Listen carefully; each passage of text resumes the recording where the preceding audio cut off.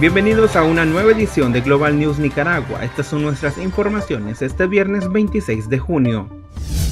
Estados Unidos volvió a enviar un mensaje a la dictadura de Daniel Ortega y esta vez le advirtió que se abstenga de usar la tortura para callar a los opositores y que cese la represión autoritaria de los derechos humanos y las libertades fundamentales. La portavoz del Departamento de Estado Morgan Ortagus envió el mismo mensaje a las dictaduras aliadas de Ortega, Venezuela y Cuba los Estados Unidos se comprometen a utilizar todas las herramientas disponibles para promover la rendición de cuentas de quienes incurran en estas prácticas que pueden destruir la vida de las víctimas, sentenció la funcionaria norteamericana. Familiares de presos políticos saludaron la firma de los estatutos de la coalición nacional y demandaron que su primera tarea sea tomar acciones concretas, efectivas y suficientemente visibles en el campo nacional e internacional para lograr la liberación de todos los presos políticos, porque no puede haber elecciones con presos políticos.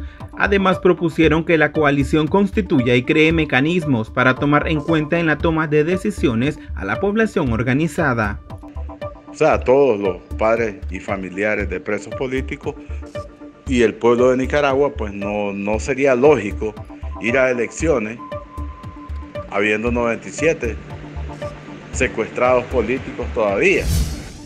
Cuatro escarceladas políticas señalaron que Irlanda Jerez cometía abusos verbales, físicos y psicológicos en contra de ellas y otras presas políticas en el centro penitenciario de mujeres en Tipitapa. La primera fue María Adilia Peralta en un video en vivo en su Facebook. Dijo que Irlanda era una mujer violenta con sus compañeras de celda y las custodias.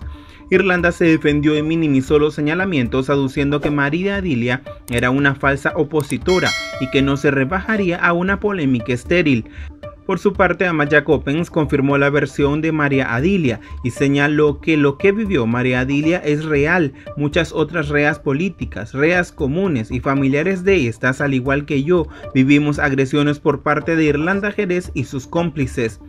A ese respaldo se sumó Kenia Gutiérrez, una de las líderes del movimiento campesino, quien dijo a través de su cuenta de Twitter, a veces uno calla por temor a ser llamado divisionista.